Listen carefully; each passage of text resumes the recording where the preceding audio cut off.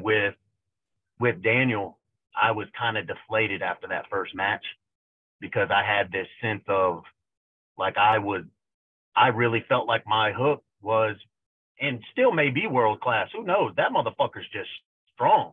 But I'm pulling through heavyweights over here, known heavyweights. I'm put with in practice. I'm I'm I am I'm feeling strong. I'm feeling confident.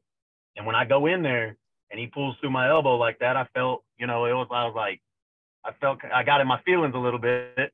So I was like, no straps, even though we had agreed to the straps, right?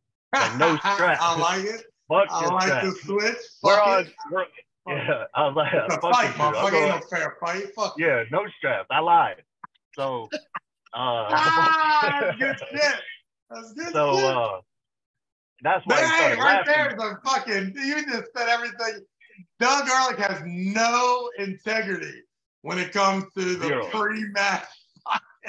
I will kick you in the nuts. Well, it's I will lie to answer you, I the would- question. Dog is a good arm wrestler.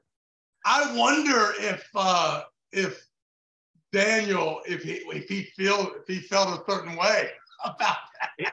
He did. Oh, we we were.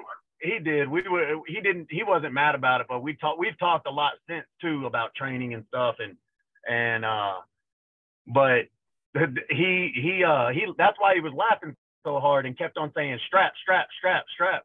And uh, cause I told him. I told him strap. Oh, But- that's great. That's fucking great story right there. Yeah. Yeah, but I, I mean, and I showed why outside the straps. I was, I, I felt good. I felt real comfortable outside the straps. But like he said afterwards, he was gonna get the straps whether I wanted to or not. You know, so he, he can get there. The dude's just better than me right now. So I,